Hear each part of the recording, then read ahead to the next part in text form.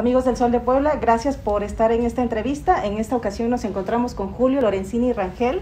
Él, bueno, eh, ha participado en estos procesos eh, electorales, pero ahora nos va a platicar de otra situación que precisamente aqueja al municipio de San Andrés Cholula. San Pedro. San Pedro Cholula. ¿Tienes un diagnóstico eh, ya, digamos, armado?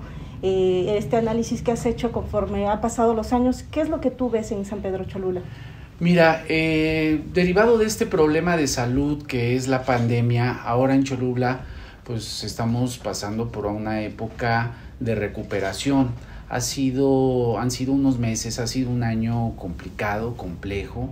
Muchas personas pues perdieron sus fuentes de empleo porque este problema de salud ahora fue, después se convirtió en un problema económico. Eh, sin embargo, de unos meses a la fecha he notado que el ánimo de los cholultecas ha mejorado. Los cholultecas, si algo nos caracteriza, nos caracteriza es que somos gente echada muy para adelante y eh, le estamos echando ganas para, pues para ir mejorando las condiciones eh, de vida. Eh, sin embargo, te puedo comentar que este, hacen falta muchas cosas. Entre esas, pues que la autoridad municipal se ponga más del lado de los de los cholutecas porque lo hemos visto muy ausente e incluso contrapuesto a los ciudadanos. En lugar de estar del lado de los ciudadanos, ha estado enfrente. Ahorita venía aquí a la entrevista y otra vez me encontré con un retén de la Policía Municipal y Vialidad. ¿Y sabes qué vehículos estaban deteniendo? Aquellos que llevaban productos del campo, tabiques, los casos de las carnitas, es decir, las cosas de lo, que utilizan para trabajar cotidianamente nuestros cholultecas son a, las personas que estaban deteniendo y no así a vehículos sospechosos para ver si llevaban reporte de robo o drogas o armas. Y me detuve y les dije, oigan, pues no es la primera vez que ocurre esto, ya párenle. Y la verdad es que este, no vemos a la policía cuando se cometen actos delictivos, pero sí en retenes extorsionando y cometiendo actos de corrupción y eso se tiene que acabar. ¿Esto lo has notado ya en este eh, último año, en los últimos, no sé, tres años de, este, de esta administración actual? Pues ha sido una constante. la, la verdad es que los cholultecas ya han calificado el desempeño de la actual administración, del actual presidente municipal y son ellos los que han también este, dado eh, una mala calificación a esta administración. Ahora, eh, pasemos a otro punto eh, pues, de esta entrevista. Hace unos días salieron señalamientos en contra tuya, Julio, sobre denuncias, dos denuncias, dos carpetas de investigación, una por, bueno, situaciones que te acusan, ¿no? Así ¿Qué respondes a estos señalamientos? ¿Tienes estos nombres directos? Sí, sí, sí, mira, son Dos personas han intentado polarizar en Cholula, dividirnos, lo han hecho de forma hasta excesiva, es la actual diputada local y el actual alcalde, y han utilizado eh, esta información eh, con verdades a medias, han utilizado esta información para eh, atacar en, en, campañas negras de desprestigio, ¿no? Ante la falta de argumentos y propuestas, recurren a la descalificación.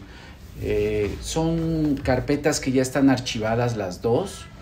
Eh, una se archivó en septiembre del año 2019, que es esta. El Ministerio Público resolvió el no ejercicio de la acción penal y se archivó.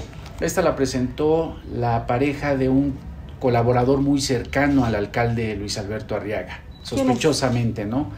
Eh, y esta otra carpeta se archivó en septiembre del 2020, el Ministerio Público también resolvió el no ejercicio de la acción penal, ambas eh, falsas acusaciones, como quedó demostrado después de las investigaciones, y que ahora pues utilizaron para intentar dañar mi imagen, mi prestigio, pero quienes me conocen en Cholula saben que soy una persona eh, responsable, honesta, trabajador y además respetuoso de las mujeres.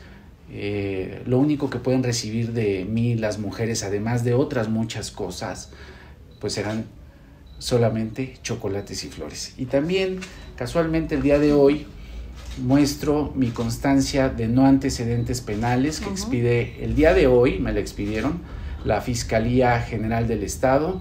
Y bueno, pues con esto acredito que como como el Estado de Puebla estoy libre y soberano. Se trataron de acusaciones falsas y las investigaciones eh, que realizó la autoridad que, que tomó conocimiento de estas investigaciones, pues se dio cuenta que no.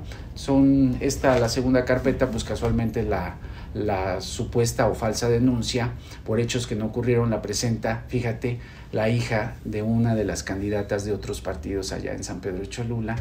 Y bueno, pues ella fue mi suegra y yo sé que muchos de ustedes tienen muy buena relación con sus suegras. En mi caso no fue así, no tuve buena comunicación y a la señora pues la respeto. Y hasta, hasta solamente esto es lo que voy a, mencionar acerca de estas carpetas. Yo les pediría que en lugar de enfocarse a campañas de desprestigio, a campañas negras, a guerra sucia, que se enfoquen mejor a propuestas. Los ciudadanos ya estamos cansados de cosas negativas vayamos construyendo cosas positivas. Necesitamos salir adelante y lo tenemos que hacer juntos. Hay que darle vuelta a la página y ver hacia adelante.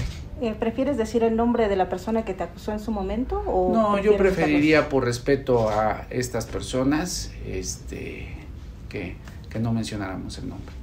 Muy bien, Julio Lorenzini, ¿quisieras decir algo para finalizar esta entrevista? Pues vamos a echarle ganas, vamos a, a darle para adelante y yo estoy seguro que eh, con este ánimo renovado que tenemos los cholultecas, eh, seguramente cosas buenas este, habrán de ocurrir. Muy bien, gracias amigos del Sol de Pueblo, nos despedimos de esta entrevista. Él es Julio Lorenzini Rangel y muchas gracias, esperemos que pues nos vean mañana, hoy en la tarde ya va a estar disponible esta entrevista y si no mañana en las redes sociales. Muy bien, Berenice, muchas gracias. Gracias.